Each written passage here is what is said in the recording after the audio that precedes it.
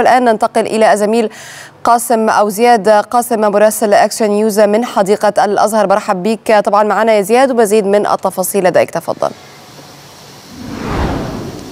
برحب بك دانا وبتحياتي لكل مشاهدي إكسترا نيوز من هنا من داخل حديقة الأزهر بمنطقة الدراسة حيث نتابع معكم أجواء ثاني أيام عيد الأضحى المبارك داخل حديقة الأزهر. تواجدنا هنا منذ أو قبل فتح حديقة الأزهر أبوابها بنصف ساعة تقريبا وكانت هناك أعداد كبيرة من الزائرين والوافدين إلى حديقة الأزهر. تنتظر خارج أسوار الحديقة من أجل فتح الحديقة أبوابها والتي فتحت أبوابها في تمام التاسعة صباحا. لعل أبرز المشاهد هنا داخل حديقة الأزهر هو التوافد الكثيف منذ فتح الحديقة أبوابها وأبرز الوافدين هي الأسرة المصرية بمختلف أعمارها. أتت إلى هنا أتت إلى حديقة الأزهر. وأيضا أبرز المشاهد هو توافد الجاليات المختلفة سواء الجاليات العربية أو الجاليات الإسلامية خاصة ونحن بالقرب من مدينة البعوث الإسلامية. الجاليات الإفريقية حضرت إلى هنا والجاليات أيضا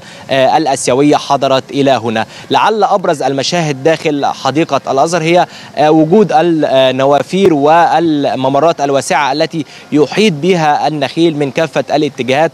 أيضا هناك ممرات ضيقة تحتوي على العديد من المزروعات النادرة وأيضا هناك مدينة مدينة ملاهي مخصصة للأطفال وغيرها من الاماكن الترفيهية الموجودة هنا داخل حديقة الأزهر والتي بنيت على منطقة وهضبة مرتفعة حوالي 40 متر تقريبا عن المناطق السكنية المحيطة بحديقة الأزهر حيث حينما تتواجد داخل حديقة الأزهر فيمكنك رؤية الأحياء القديمة كالضرب الأحمر والحسين والأزهر وغيرها من المناطق القديمة هنا داخل محافظة القاهرة. أيضا من أبرز الأماكن الموجودة هنا داخل حديقة الأزهر هو أن الحديقة تحتوي على المطاعم المختلفة التي تناسب كافة الفئات المصرية فهناك المطاعم عالية الأسعار ومتوسطة الأسعار ومنخفضة الأسعار لتناسب كافة الوفود القادمة إلى حديقة الأزهر.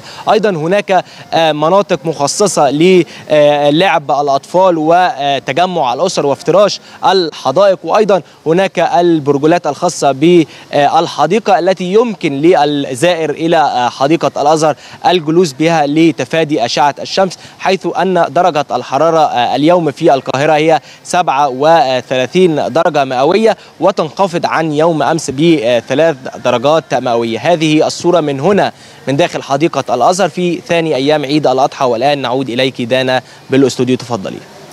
بشكرك. شكرا جزيلا زميل زياد قاسم مراسل أكشن نيوز من حديقة الأزهر. شكرا على كل هذه المعلومات وهذا الرصد.